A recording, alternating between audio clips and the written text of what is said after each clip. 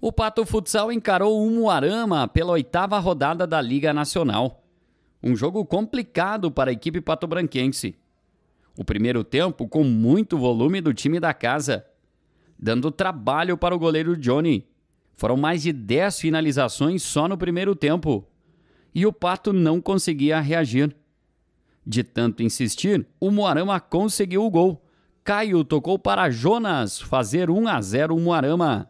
Com pouca inspiração, o Pato foi para o intervalo em desvantagem. No segundo tempo, o jogo voltou mais equilibrado. O Pato tentando o gol e o Moarama buscando os contra-ataques. Nos minutos finais, o Pato precisou arriscar. Utilizou o goleiro Linha. Dudu foi bastante acionado, mas a pontaria não estava calibrada. Dudu teve essa sobra praticamente dentro da área, mas perdeu a chance.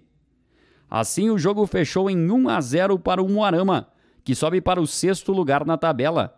O Pato permanece na ponta, mas pode perder o posto até o final da rodada.